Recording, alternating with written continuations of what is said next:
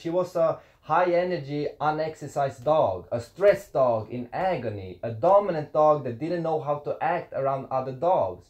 And still, if she would have attacked someone, people would blame the breed for it and not the damn owner. You know, it's insane. What's up guys? Thank you for stopping by. My name is Philip. This is the whining Molly. She's an American Staffordshire Terrier. This is Vilde. She's a Staffordshire Bull Terrier. And I'm a human. And we've been watching some videos and scrolling down the comments. Maybe we shouldn't have done that. But anyway, I noticed that there is plenty of talk about which breed is the most difficult breed to train. You know, which breed is nearly impossible to handle. And I see comments like, oh, I know, it's the Dogo Argentino. They are huge with such a prey drive. And did you know they kill boars for sport? and I see a reply to that comment like, nah man, it's the Malinois. I mean, it's the most high energy dog there is and they are specifically bred for professionals. And why I'm laughing is I can just see how every single person in the world can find an argument, if they want to, of why a specific breed is the most difficult one. Now look, I'm here to tell you which dog that is the most difficult or harder to train, not which breed, because actually there is no such thing as the most difficult breed. And now this ain't the topic for this type of video, but I'm gonna tell you real quick that genetics, pedigrees, breeds do matter. I mean, for sure, 100%. It's really important for the dog owner to know what he or she is holding in the leash. You know, some dogs are bred to have a high prey drive, you know, an instinct to chase after animals and trails. Some dogs are bred to be a working dog with high energy. Some has low energy and maybe not that good of a working dog. Some are even bred to pull you on a damn sled 500 miles. You know, some breeds would actually die if they ever tried to do that. But all these traits that I just mentioned, you know, having high energy, having low energy, having the instinct to chase after animals and trails, pulling you on a sled, all these traits can vary in the same breed. Even though this breed ain't specifically bred to have all these traits, they can still have them. And if you have a dog, you know, they have different personalities and upbringings. And even though they are the same breed, they can be quite different. So this is why you can't vastly generalize which breed is the most difficult. And by the way, I just want to point this out and be very clear that there's no dog or breed in the world that is difficult or hard to train if you know what you're doing. But mm-hmm. that's the thing, if you know what you're doing. But still, why I choose to use the word difficult or the most hardest dog to train, handle, it's because of the average person. Because even though you're the best goddamn dog trainer out there in the world, if you would train this type of dogs that I'm about to talk about, it would still require a lot of time and effort. And imagine then for the average person who maybe do not have all this experience, you know, it will be quite hard or not even quite hard, it will be very difficult for them. So I really hope these type of videos and the follow-up video that I'm uh, about to make will actually or hopefully help at least some of you guys, you know, help you help your dogs basically. So if you haven't done that, I would appreciate and I hope that you will too if you press that subscribe button, press that notification bell and we can solve your potential problems with your dog. Anyway, as I was saying, genetics are very important. It's crucial for the dog owner to know what he or she is holding in the leash. But the most difficult dog to train or to handle isn't a breed with a set of traits. So I'm gonna release this dog quite real quick. They have been sitting or laying down here for a long time. So I'm gonna release them and then cut to the chase. Molly here is one of these dogs that I'm talking about. And again, she wasn't a difficult dog because of her breed or because of her traits, you know. There's nothing wrong with her breed or the traits that she has. It's just those things combined with a shitty upbringing that greatly enhanced her traits, which made her, you know, a difficult dog. And that's only because it takes more time to retrain a dog than it takes to train a dog. But before I go into details about her background, I want to talk a little bit more about her traits and then wrap it all up with her upbringing so you know it will be a full circle explanation of why dogs like this are a little bit more difficult to train or to handle for the average person. I'm just gonna go up here so I can find the same spot that I was sitting at before. How did you get off that fence? All right, so I'm gonna start talking about her traits real quick. You wanna sit that way? Well, she wanna look at the view, okay. So mm. number one, she's a very dominant dog. It's just in her nature.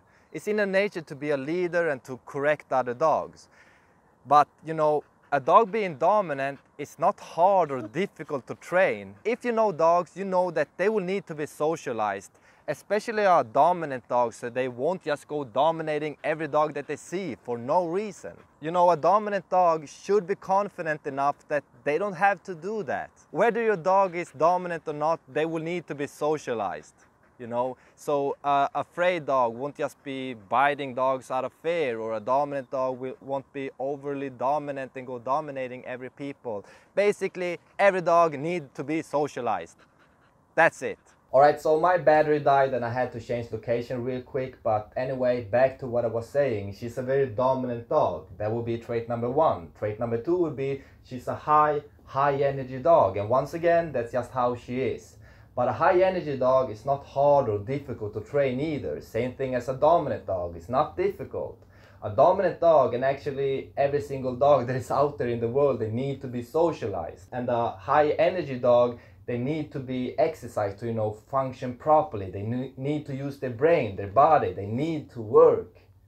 Because Energy for a dog can easily be converted to stress. And at some point, they might not know what they are doing, you know, they might will be flying all over the place. And that energy and stress could be converted to, you know, the dog biting or an attack. So it can be quite hard for us humans to wrap around that, but just understand that uncontrolled energy is bad. very, very bad. And I did a video about that actually, talking and actually showing you when I'm training obedience training with Molly uncontrolled energy versus controlled energy. And you can actually see the result that I'm getting how different it, it is when she's you know when she's having a controlled energy and an uncontrolled energy. So I'm gonna put that video in the description below so you can click on that if you want to and you can actually see and understand what I'm talking about. So anyway back to uncontrolled energy being converted to stress being potentially converted into an attack. Even though your dog is the most kind and all loving dog there is, they could still, you know, bite even though that's not the intention of your dog. So it's quite important for us to know that just because a dog bites or, you know, touches you with the teeth, it's not always intentional because energy and stress can be so deceitful. Now imagine a dog that has all these traits, you know, a very dominant dog, a high energy dog, a strong and athletic dog. Now imagine that this dog is raised for 7 to 8 months or longer by a complete fool. This dog that required a little more attention and more exercise than you know a normal dog did get little to no exercise. This high energy dominant dog that is now stressed have never met a dog before or a person, I mean ever. This dog that needed to be exercised and socialized have during these months been taught nothing. Have you ever heard about dog training saying that dogs doesn't think, they react? Well, that's what she did during these months. She didn't think, she just reacted. Imagine all this bad behavior that is printed into her mind. All this bad behavior really got stuck in her head. You know, as soon as she saw a dog, she react. As soon as she got stressed, she react. as soon as she breathes, she react. When you then take over that ownership, you're now holding in the leash the hardest or the most difficult dog to train or to handle. And that was Molly when I first took care of her. As I said, she's a dominant dog. It's just in her nature to be the leader and to correct other dogs but she had no socializing skills at all. Basically never seen a dog or a person. So it's gonna be quite fucking tense when she's meeting another dog. You know, she don't know the proper way to act around other dogs, which will just lead to, you know, miscommunication, fights and everything like that. Plus of the fact that she's an energetic dog that never got to be exercised. You know, as I said before, just that is just a recipe for disaster.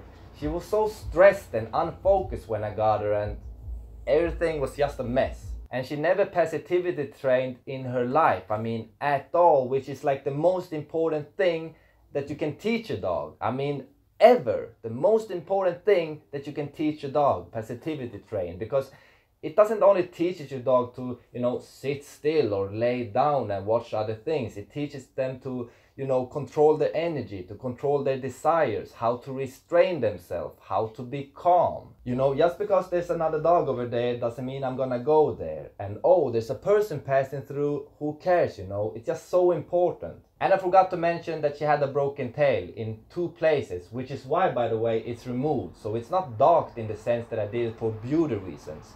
She was in agony for seven months, which is, you know, just only that was very stressful for her, you know, in that kind of an environment. It's just a damn miracle that she's not just broken mentally now when I think of it. So, as I said earlier, no dog is difficult if you know what you're doing. But Molly, in the hand of a person with no experience, could actually be quite dangerous. You know, she was a high energy, unexercised dog, a stressed dog in agony, a dominant dog that didn't know how to act around other dogs. And still, if she would have attacked someone, people would blame the breed for it and not the damn owner. You know, it's insane. If I wasn't clear, by the way, why it's harder to train these type of dogs than it is to train a puppy is because the first experience your dog has gets stuck into their mind and into their behavior you know so obviously you can retrain any dog with ease but it's way harder and takes more time and effort to retrain a dog than it takes to train a dog. So i'm gonna make another video after this one you know a follow-up video in which i go into details about the most important things that you can teach a dog. Basically how i got down molly to a manageable level. So if you're having problems with your dog or actually if you just want a decent happy obedient and calm dog consider clicking on that subscribe button, press on that notification bell so you won't miss it, and I will do my best to go into exact detail of you know what I did and how you can help your dog to be better and how to feel better.